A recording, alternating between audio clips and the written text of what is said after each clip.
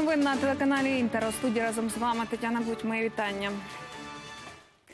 Україна наполягає на звільненні не тільки заручників бойовиків, а й українців, яких незаконно отримують в російських тюрмах. Про це повідомила Ірина Геращенко за підсумками засідання тристоронньої групи в мінську. Вона також наголосила, що українська сторона запропонувала Росії створити спільний із Червоним Хрестом центр для пошуку зниклих людей на Донбасі.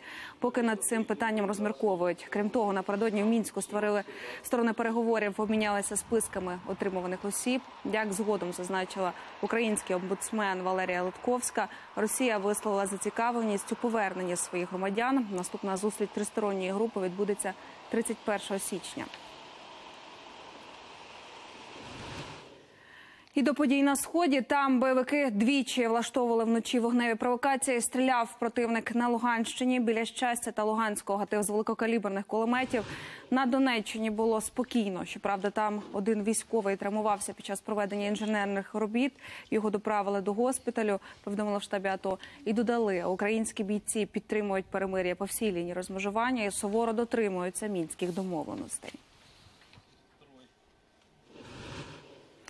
Повернутися до спільного центру з контролю та координації закликало Росію США. Про це заявив тимчасово повірений у справах США при ОБСЄ Гаррі Каміан на засіданні постійної ради організації у Відні. За його словами, відмова це зробити означає небажання Москви виконувати свої зобов'язання, в тому числі щодо режиму припинення вогню відповідно до мінських угод. Каміан також закликав Росію відвести своє озброєння від лінії зіткнення. Канадські інструктори продовжать вишкіл українських військових на Яворівському полігоні цього року. Про це сказав Петро Порошенко під час візиту на Львівщину з генерал-губернатором Канади Жюлі Паєт. Президент зазначив, практична допомога канадських партнерів це не лише знак підтримки, а й вагомий внесок у професійну підготовку українських армійців. Наразі тренування під наглядом канадських інструкторів пройшли понад 5 тисяч військових ЗСУ. Ми продовжуємо зміцнювати наше безпекове партнерство. Я вдячний Отаві за потужний і вчасний сигнал підтримки, який ми отримали завдяки рішенню Канади включити Україну до контрольного переліку країн, до яких дозволено поставки озброєнь. Цей крок разом з рішенням наших американських друзів відкриває шлях до надання Україні летальної оборонної зброї. Те, що ви служите своїй країні, це гордість для вашої батьківщини. За те, що ви підтримуєте обороноздатність своєї держави, ви заслуговуєте найщиріших слів вдячності та поваги. Національний банк України може очолити Яків Смолій. Напередодні його кандидатуру до Верховної Ради вніс Петро Порошенко. Зараз Смолій виконує обов'язки керівника Нацбанку, оскільки Валерія Гонтарєва в травні подала відставку і наразі перебуває у відпустці. Суд призначив портретну експертизу відео з Путіним у російській стрічці Крим. Шлях на батьківщину. Експерти мають визначити, чи справжній у президент Росії, а також міністр оборони РФ Шойгу та самоназваний екс-голова анексованого Криму Аксьонов. Перевірка знадобилася для того, аби переконати адвокатів Віктора Януковича, що на відео не двійники. Наступне засідання в справі про держзраду президента втікача відбудеться 24 січня.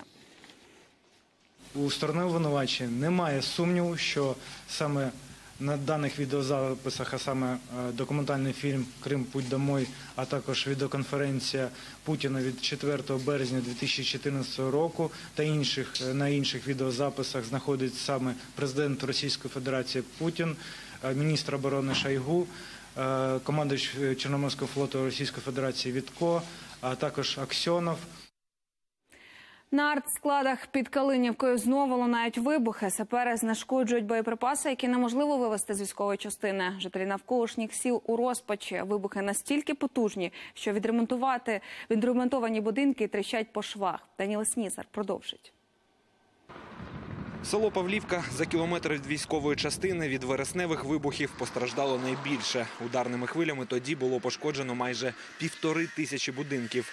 Вже кілька днів люди знову як на голках. Ось півчаса назад я шандарахнула два рази той вікна по цього. Зараз знов стали до того бахкати, що двері відкриваються в хаті. От в мене поколяна хата, вона далі колиться. О. І вона навісніше в мені розсипеться. Кухні літній потолки вже покололися. У будинку пані Катерини кілька тижнів тому будівельники встановили вікна, вибиті у вересні. Через вибухи напередодні з'явилися нові тріщини. Та воно коле далі. От воно не було там вже внизу таке висіло, а це вже висе воно. Люди побоюються, що через нові вибухи доведеться знову латати домівки і вже своїм коштом. Зайдіть в кожну хату, подивіться, тут в кожній хаті ще не пороблені ці ремонти. У сільраді заспокоюють, без допомоги місцевих не залишать. Люди звертаються, щоб пішла десь криша, все рівно десь появляються якісь певні нюанси.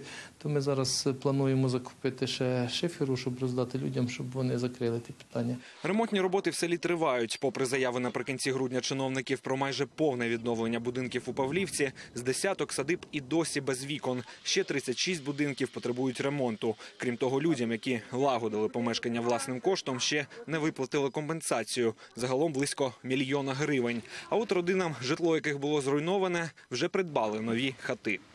Всі шість будинків людям придбані, е, люди вже в деякі переселилися. Винних у пожежі не встановили й досі. Наразі до відповідальності притягнули військовослужбовця за неналежну охорону артскладу. Він має сплатити штраф 2,5 тисячі гривень. Даніл Снісар, Олексій Шматов. Новини телеканал Інтер.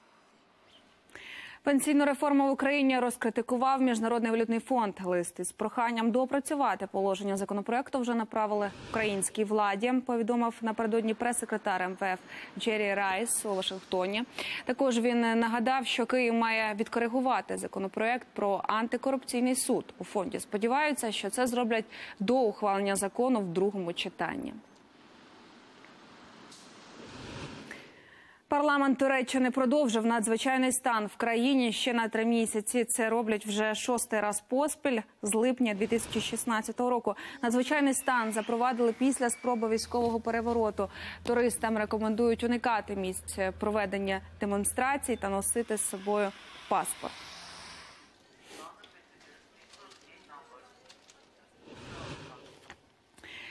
Сьогодні християни східного обряду відзначають третє і завершальне свято різдвяного циклу водохреща. Тисячі прочан з усього світу прибули на річку Йордан. Саме тут, за Біблією, Ісус прийняв хрещення. Це свято, що називають богоявленням. Прочани традиційно на Йордані пірнали тричі з головою в воду. Люди вірять, що в цей день вода має цілющі властивості.